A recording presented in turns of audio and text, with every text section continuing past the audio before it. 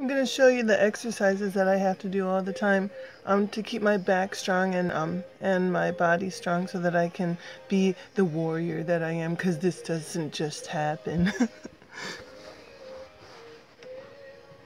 just little th things.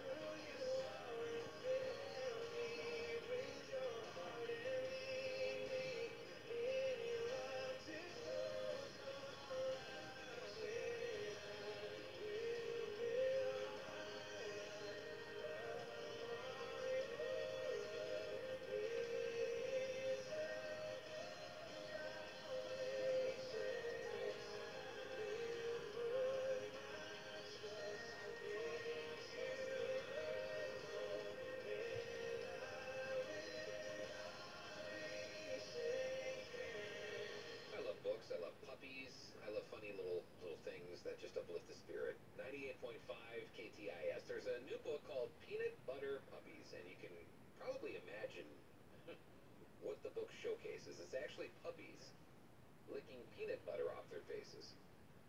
And I had no idea, but it's actually a sequel to Peanut Butter Dogs.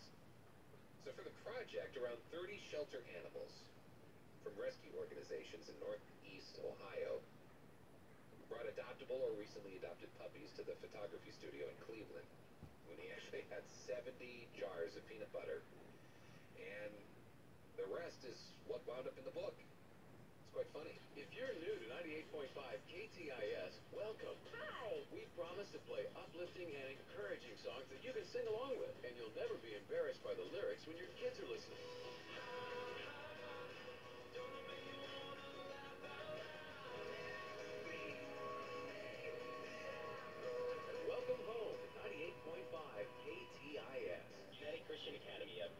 Sponsor KTIS, is a private pre-K-12 school in Bloomington where students experience small class sizes and develop relationships in a Christ-centered environment.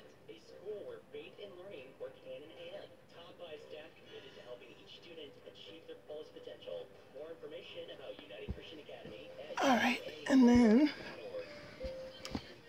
the muscle stuffs. Can we see the numbers on here? Three and five. Shut up! 55 and 33 right on there. You know.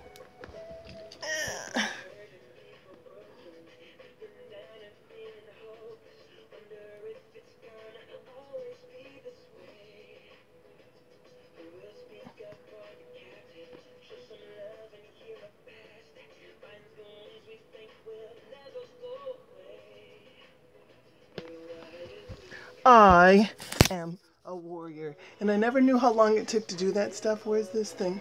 522? Okay, so now, oh, I got a hair on me.